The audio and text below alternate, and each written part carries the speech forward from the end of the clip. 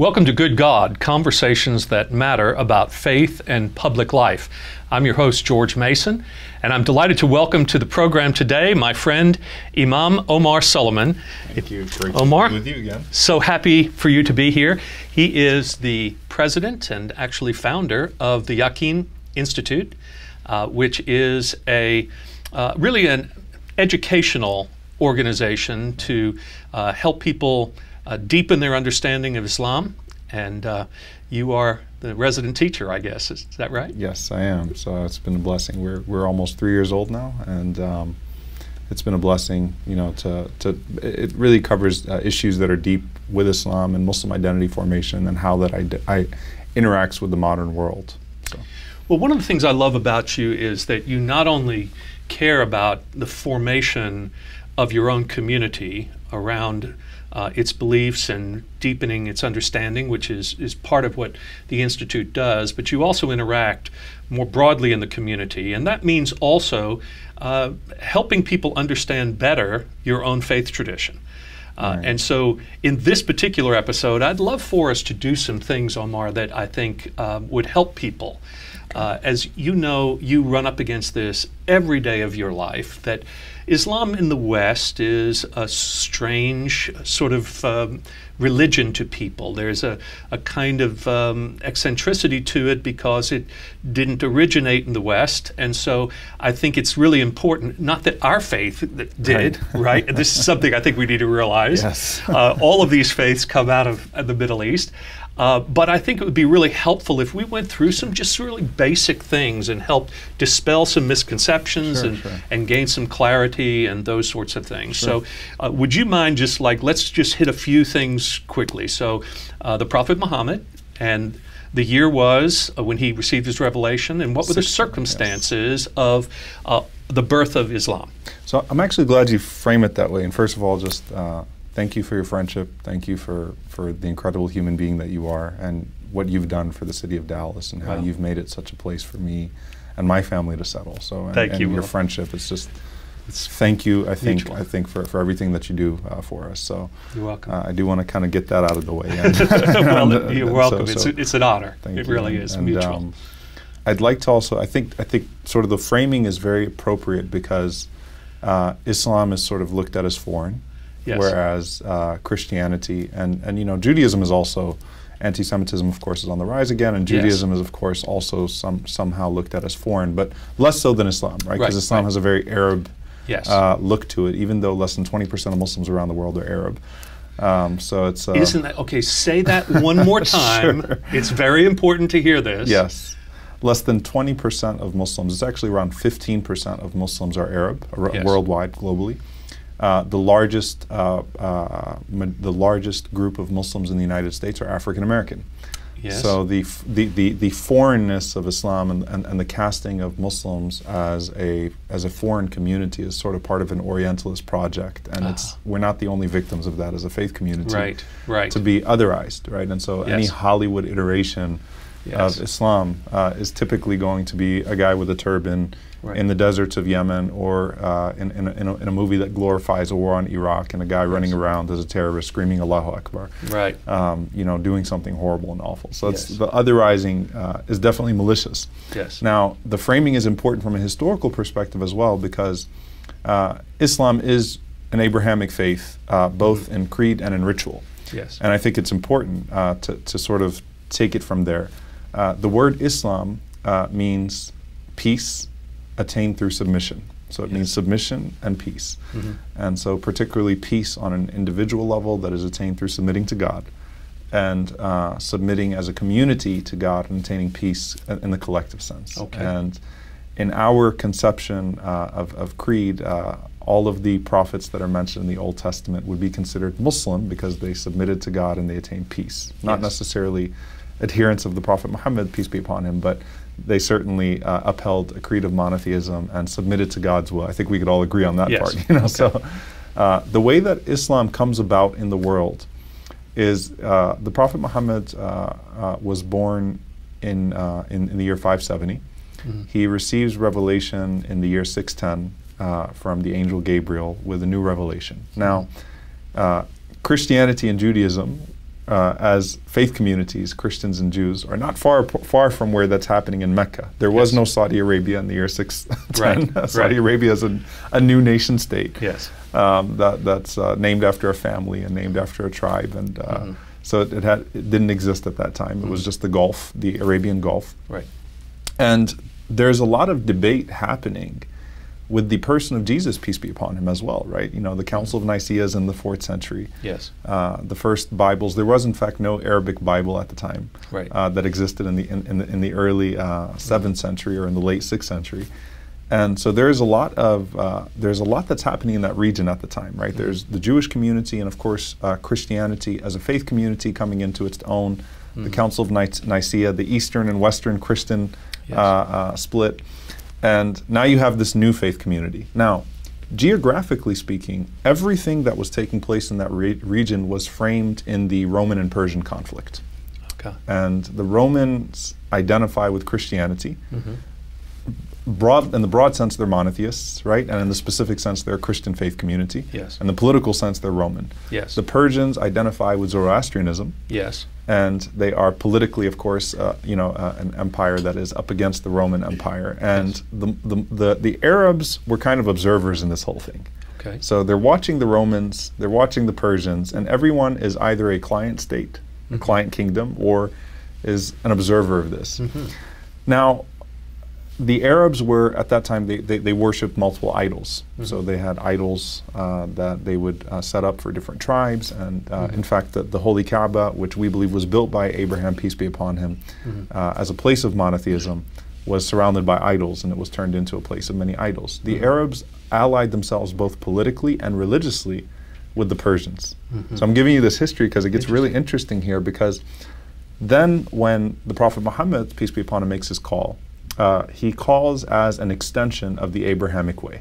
Mhm. So he's calling to the original way of Abraham, peace be upon him. So they Mhm. said this house was built by Abraham for the worship of one God. Yes. He's calling as an extension of, uh, of, of the message of Jesus Christ, peace be upon him. So, of course, Islam looks at Jesus, peace be upon him, as a prophet and a messenger of God. hmm Um, but within the wi- within uh, more, you know, from a creedal sense, Islam and Judaism are very similar. Yes. Uh, and so, More strict monotheists correct. than you would say Christians are Yes. because of our notion of the Trinity. yes. Right. But here's where it gets interesting now. So, the Prophet, peace be upon him, calls to monotheism. He calls to the return to the Abrahamic way. Uh, Christianity was not as known to the Arabs in Mecca as it was, as Judaism was, because Okay. there was a Jewish community in the nearby town of Yathrib. hmm um, there were Jewish tribes that settled there.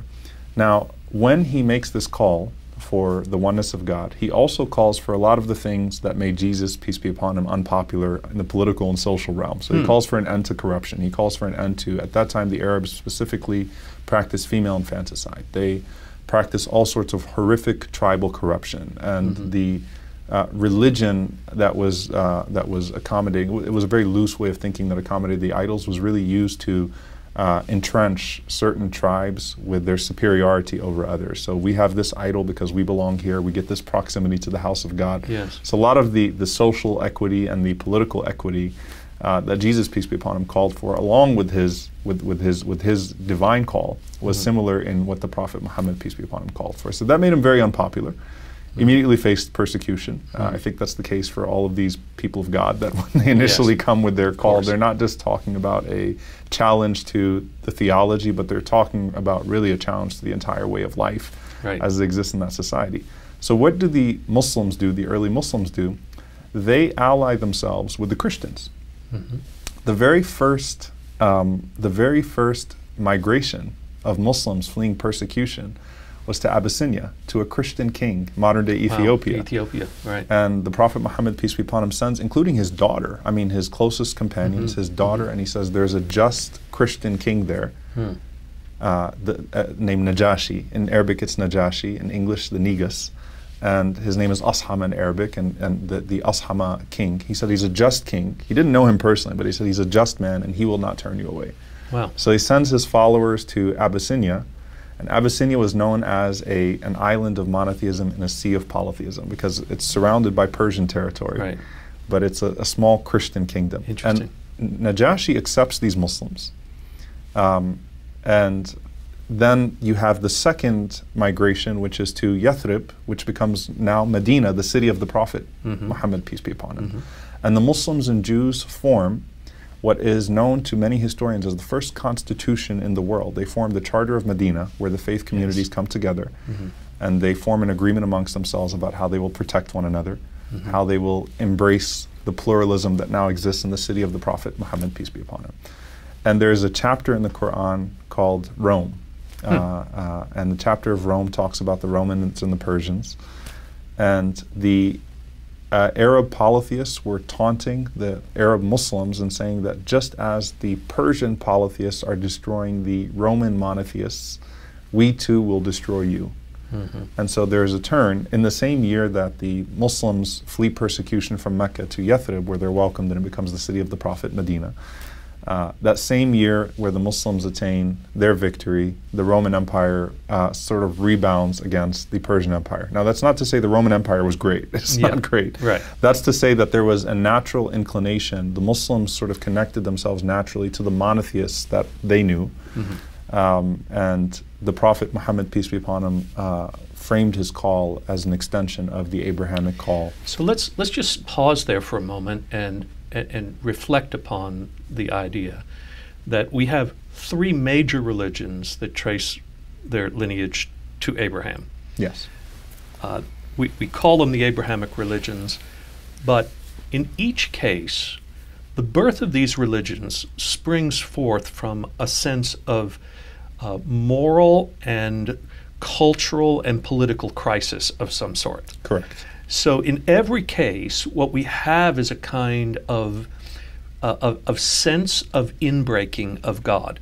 The world is not as God has intended it to be. Uh, there is oppression of one people over another, one culture over another. There is a kind of spiritual um, misplaced values with multiple gods and an enfranchising of, uh, of one tribe over another and these sorts of things. And so each of these inbreakings is a kind of, uh, of reformation, uh, of kind of a purification, an anti corruption movement. Each of these cases is a, a kind of democratizing of faith, if you will, too, because it creates a kind of equality among people. So we, before we before we sort of indict uh, Christianity or Islam as as creating more oppression, we should we should recognize that initially, at least, right, the the, the actual point of these uh, the birth of these religions was to address that very problem and, Right. and to correct it. So it's really interesting, you know, as you were saying that the, the Prophet Muhammad, uh, peace be upon him, when I say any name of any prophet, Yes. as a Muslim, it's tradition to say peace be upon him. So if I say Jesus' name, we say peace be upon him. If I say Abraham's name, we say peace be upon him. Uh, it's required for us to say it the first time, and it's liked for us to say it every other time in a I see. conversation. Yeah, so that's sort of our Okay, jurisprudence. on thank you for clarifying Yes, sure. folks. Yeah. Sometimes people are like, I got to tell you a funny story, but I don't want to lose my point on that. Okay, but, uh, right. we, uh, you know, he said, the Prophet Muhammad, peace be upon him, said that God looked at the world before he sent him. And uh, he was displeased with the state of the world, the Yes. Arabs and the non Arabs, except for a small portion of the people of the book. The people of the book are the Jews and the Christians Yes. in Islamic tradition. That's actually the name given to Jews and Christians in the Quran is the Right. people of the book. So God was displeased with what he saw in the world, except for what a small group of, of Jews and Christians were practicing, Hmm. of pure monotheism with its implications of a pure society or, or, or pure Mhm. practice. And so the idea of removing the other, you know, Islam is a monotheistic faith, right? And, it's, and, and definitely the idea is that all of these prophets called to the oneness of God, but the implications of the oneness of God had major ramifications, and that naturally made them prone to being persecuted because that Yes. threatened the elite classes' hold on society and what they were able to do with the idols. Right. And so the, the when, when the Prophet Muhammad peace be upon him started this call, the uh, what the what the ruling tribes said to him is they said, listen, they said we'll come to a compromise. They said, how about you know you worship your God one day, we'll we'll all worship your God one day, and you worship our idols one day. And he said no, and he was in a state of weakness. They said, well. Uh, you know, we'll worship your God, the one God, for six days. You worship our idols for one. And he said, no. And then they finally got to, we'll worship your God the whole year, but you just got to worship the idols for one day. Their idea was not, they didn't really have a care for the, the idols themselves. It was what the idols gave them access Right, to do exactly. and, the, and the power that it gave them um, to, uh, to take advantage of people and to oppress. Right. And my funny story, I, I just have to share it. I was in, uh, Hold, hold that Okay, point. sorry, We're going to come sure. back from the break. Okay, and, and, I, and we'll let you tell it. And All then right, I also want us to, I also want us to move into some uh, understanding of scripture and tradition and how it's interpreted please. within Absolutely. Islam as well. Absolutely. So uh, just take a break. Okay. Thank you for continuing to tune in to Good God. These conversations are part of a larger program that is called Faith Commons, the umbrella organization, you might say, of Good God. Good God is the first project of Faith Commons, which is a nonprofit organization that is intended to do public theology, you might say. Uh, it's multi faith, not just Christian, Jewish, Muslim, other faiths, but all of them becoming involved in the question of how do we promote the common good together. There are so many areas of need and concern in our community, and Faith Commons is trying to help bridge the gaps uh, between religions and peoples in our community so that we can have a more just and peaceful society. Thanks for continuing to support us. We're back with Omar Suleiman, and he uh, was just about to tell us something funny. Yes. So, so my funny story is that I wrote a paper on Jesus, peace be upon him, in Islam and Christianity in high school. Uh-huh. I which was in New Orleans, by the way, Yes, right? from New Orleans, I yeah. think we should all stop it? and say for a moment that you you are a, an American born in this country and Palestinian parents. Yes. Uh, but uh, they they had immigrated to the U.S. and so you're born in New Orleans, yes. and this is a paper in high school. Absolutely. So uh, I'm in Louisiana. I am at that time actually I was in Baton Rouge at that point now. Still in Louisiana, and I was writing this paper on Jesus, peace be upon him, in Islam and Christianity. Now Muslims will typically put PBUH Yes, behind the name of any prophet. right. Uh, Peace be upon him. Peace be upon him. I made the assumption that my teacher would know what that means. Ah, so I wrote Jesus and Christianity and Islam, and I kind of just compared and contrasted, and I wrote PBUH. And she came up to me with her face extremely red, and she said, "You can't do that." I said, "What?" She said, "You can't say Jesus." pfft." Oh no! So she- As if you were scorning. Yes. Yes. Jesus. Oh, my She read the first line, and she said, Okay, but see, this is that. but So- this is exactly to the point of Yes. why we need these conversations, Yes. right? Why we need the interaction, because misunderstandings come from Yes. ignorance, and Correct. ignorance is not always willful. Uh, Correct. So there there are many people who really do want to understand, and Oh, so that's that's what we're after here. So Well, if you follow me on Facebook though now or on social media and you say me write PBUH, you know I'm not scorning. I'm just Thank saying you. peace yes. be on well, we also know you, and we know you wouldn't be scorning. So, very good. Well, let's let's talk about Scripture because um, obviously Jews have the Hebrew Bible, and Christians have the New Testament Scriptures and the Hebrew Bible that we call the Old Testament, and so that's uh, th- those are our scriptures. Islam actually respects those scriptures as well, but the Quran is your holy text. Correct. Yes. So, so, so, to kind of give you the underlying, so there are the easiest way to know Islam, in like if I could give Islam in, in, in a minute, it's there are six pillars of faith: belief in God, belief in the angels, Gabriel, Michael, and some of the other angels that Mhm, are very mhm. familiar. Uh, belief in the prophets and messengers, Mhm. belief in the messages, so the, the divine scriptures that came to those prophets and messengers. So pretty much any prophet you mention from the. Old Testament, Moses, peace be upon him, is actually the most spoken about prophet in the Quran. Okay. Um, Abraham, peace be upon him, is looked at as, our, as the father, if you will. Um, Noah, peace be upon him. Uh, all of them are mentioned, and Jesus, peace be upon him, is mentioned by name even more than Muhammad, peace be upon him, in the Quran. Interesting. He's mentioned uh, 25 times. The Mhm. Prophet Muhammad, peace be upon him, his name is mentioned five times in the Quran. Yes. Uh, and then so you got God, the angels, the messengers, the messages they received, the day of judgment, Mhm. and, it, and, and and you know paradise and, and hellfire Mhm. and the divine decree, Mhm. predestination, divine decree, Okay. as a six. So those are six pillars. Mhm. Kind of underlines the creed. So these prophets and messengers all received divine scripture, Mhm. divine revelation. Yes. Now, obviously, there are historical changes, there are versions, there are languages, there Sure. are translations. So the idea is that the originals were entirely from God, and then over time, what, what exists in all divine scripture. In the Islamic conception is partly there could be parts and there are parts that are from God. So there's the, the respect that should be given to religious tradition in general. So even if there is a a community, a faith community, or a religious scripture that we don't acknowledge within the Abrahamic framework at all, we would still treat it with respect, and Ah. we treat the people with respect because they should be respected, and they're people of faith, and their Mhm. their their books should be respected and treated that Mhm. way. But what makes the, the the Bible very interesting is that we do believe that uh, there is some of God's word that exists in it, and so as Muslims, it's upheld to it, to that standard, right? Now, the Quran, uh, the uh, there's there's a hyper sense of preservation. So the Quran is God's word. It's not it's not inspired by God. It's not written by someone else, and those people were inspired by God. It is God's word. Mhm. It's God's direct revelation to the Prophet Muhammad, peace be upon him, through the angel Gabriel. So God's speaking in the Quran, right? Mhm. Uh, and so there's this hyper. Um, uh, I don't. I, I say hyper. uh, You know, and hyper could obviously give a negative connotation, but it's actually quite beautiful that uh, the, there there's a, a, a due diligence or, or uh, added level of preservation. The idea of preserving the Quran Yes. in, in both recitation and meaning, because it's got to be exactly Mhm. the same.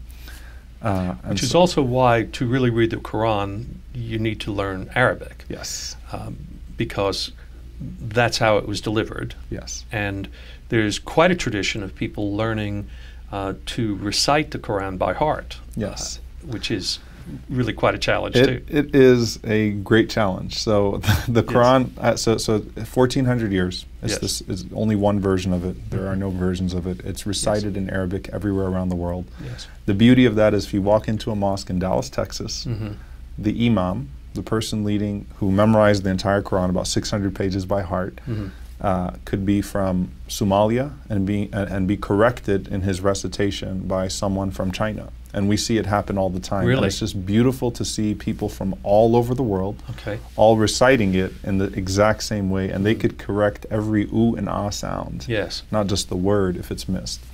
Um, but it's it's a difficult. It's one. I, I, I had the, the blessing of memorizing it myself, and it was it was an incredible uh, task. I mean, it's not easy to memorize it. Most people memorize it as children, and then to practice that and to continuously recite it so that you don't lose any of it is really something else. So let's talk about the. There, there's obviously a difference between Islam, Judaism, and Christianity in this respect. Yes. Because um, you you hold that uh, the the Quran is the actual words of Yes, God, yeah. and uh, whereas uh, both Judaism and Christianity, somewhat different ways, but nonetheless, uh, speak of these as inspired but human words. Yes. So when when we when we say the Bible is the Word of God, it is understood differently from the way Correct. the Quran is the, the Word of God. Yet my guess is that we have a similar challenge, and that is it's very um, it- it's very easy to say something about the authority of our scripture.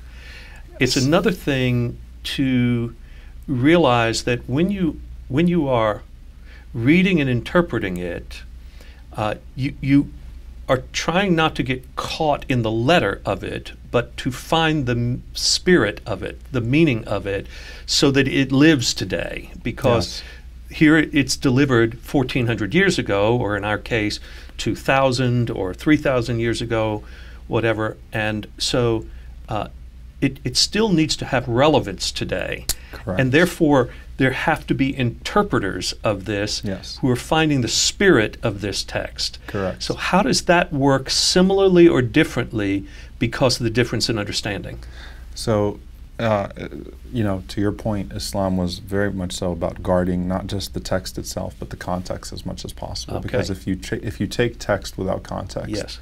You could turn Harry Potter into a violent book. You Right. could turn you could do all sorts of horrific things, Yes. and then do it in the name of God, Right. which um, Which we've seen from all of our faiths. Correct. We've seen people um, have not, you know, uh, unfortunately been restricted by those original contexts and will Yes. happily take verses out of context and do what they do. Right. Um, and of course, this idea of, you know, I should say from the onset, this idea of a, an, an association with the Quran with, with violence or Islam with violence. Uh, the ver- statistically speaking, the verses about violence. Now, we would say that the, the, the Quran, the New Testament, and the Old Testament, um, you know, framed in context. They should be understood in a certain way. But statistically speaking, the Quran has the least mentions of violence of any holy book. Mm-hmm. Um, but the idea, the association is very strong. Of course. And so there's this verse, for example, which is in response to the persecution of those Muslims when they fled to Yathrib, which became Medina, the Mm. city of the Prophet Muhammad, peace be upon him, where they did not take up the sword, they did not fight. Mhm. For 13 years under persecution, they asked, they said, listen, uh, we'll go out at night, we'll, we'll take these people by surprise. And uh, the Prophet Muhammad, peace be upon him, said in Arabic, he said, Ma umirtu bil qatl, I was not sent to kill people, I was not sent to hurt people. Yes. He said, but I was sent as a mercy. Yes. That was his response. They get to Medina, they're chased, they're killed, even in travel, and their things are taken, their belongings are taken in Mecca. And then, even in Medina, the, the, the Muslims are saying, Can we fight back now? Is there a concept of defense? Do we fight back? And that's where the verse came down. The very first verses about fighting was uh, giving permission. God has given you permission to fight while it is disliked to you. Uh-huh. So it actually starts that way. Yes. Then it says, "So kill them wherever you find them." Now, the way that an Islamophobe would take that is they they take that verse and they say the Quran says, "Kill them wherever you find them," i.e., in parentheses, Jews, Christians, infidels. Yes. just throw everything in there. Right. And then you continue with the verse and it says that uh, that that and if they incline towards peace, then incline towards peace. God does not love the aggressors. Ah. And there, the Prophet Muhammad, peace be upon him, commented on that, and he said, uh, "La tatamannu liqa al-adu." Never wish to meet your enemy. Yes. Never wish for fighting. Never wish for battle. But then there are sometimes, and then he said, "But but if you do, then." You know, then, then show courage and sincerity and great zeal as you fight back, Mhm. uh, and, and, and you know you fight under a noble cause rather than in terrorizing and, and in the vigilantism that we see today and the bigotry and, and all these things that are done in the name of, of, of sacred text. So the hadith here is where this comes into play. How did Islam try to preserve the original meaning of the Quran? There was great care given to the words of the Prophet Muhammad, peace be upon him, himself describing the verses of the Quran. And this is the hadith, the, the words of the prophet. The words of the Prophet. And scrutinizing every. If someone claims that I heard the Prophet say, there's scrutiny Mhm. of that person's character Mhm. and whether it's corroborated by other people, Yes. the context of it. Because if I say I heard him in a sermon, well, who else was in the sermon? Yes. And so it has to be corroborated. It's got to be, um, you know, there's got to be a, a trustworthiness, a character uh, Mhm. test of the person that's that's relaying the words. So there's Okay. chains of narration. So preserving the hadith was the first guard, and then comes scholarly authority. Which is the sunnah. Yes. Yes. So the, after after the, the, the hadith and, and then the sunnah, the person the person of the prophet peace be upon him, you get to these scholars that uh, that that study jurists that study the original intent and then try to prescribe based upon that Mhm. uh, with modern contexts. Mhm. And this is where it gets interesting. Someone asked the other day, uh, "Does Islam have a pope? Mhm. Did it ever have a, an authority like the pope?" And uh, I was once asked. I was on, once on a panel about the Protestant Reformation Mhm. and this we just marked the 500 year anniversary and like these trends did not have similar uh, um, uh, trends within the Muslim world because there's a very different understanding of religious authority historically in the Muslim world. So did we ever have a, a, an authority that was similar to the Pope? And to us, it's uh, you know a friend of mine said he, his name is Pope Consensus. Pope consensus. Yes, so if, very good. It's very scholars- Baptist, actually. Too. Yeah, there So you go. So right. it's something we can Yes. we can agree Very upon on that in that regard too. So the idea of consensus, the majority, the consensus, and then you know minority context should be you should listen to the scholars that are familiar with that minority context, Okay. and then prescribe based upon that. But there's great care given to retaining the original text, the original context of the word, and, and then practice of the Prophet Muhammad peace be upon him, and then scholarly authority over time, and if there was consensus on the understanding of that. Mhm. So it kind of gives us a way of trying to access the original intent without being disconnected Right. from modern context and losing the spirit of the original intent Yes. in mis uh, uh, understanding or in uh, wrongly prescribing that original letter and that original intent. So what you're talking modernity. about is still a living community that is in, interacting with the scripture and is trying to discern Yeah. uh, the mind of God over and over again the way each of our traditions is seeking to do. So we may have slightly different understandings of the, the origin or nature of the text itself. Right. Uh, but we have similar processes whereby we go about trying to discern uh, how the people of God are supposed to live. Correct. Yes, Absolutely. very good.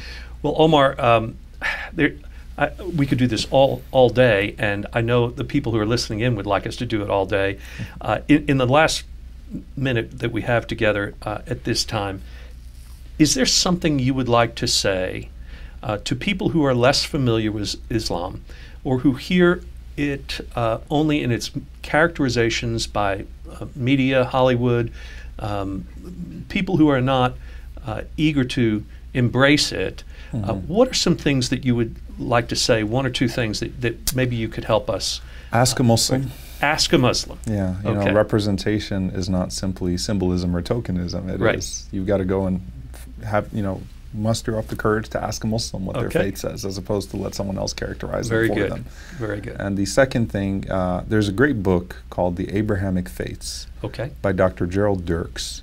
Okay. And he does a fantastic job of. Uh, he, he recently passed, and a wonderful man, uh, Harvard professor, recently, and does just a great job of sort of tracing uh, the the line between Judaism, Christianity, and Islam. So I think deepening your understanding of the Mhm. origins is Yes. just as important as um, being more open to to, to, to broadening your scope and what's happening today, and, Wonderful. and, and the friction, the seeming friction between the East and the West, Muslims and Christians Very good. and, and everything that stems from that. Well, you and I are working on a project of living in a community with one another and our faith traditions, um, not only making space for each other, but uh, finding friendship and common cause. Thank you for all of that, oh, and we look you. forward to the future together, I appreciate it. Thank you. Appreciate you having You me. bet.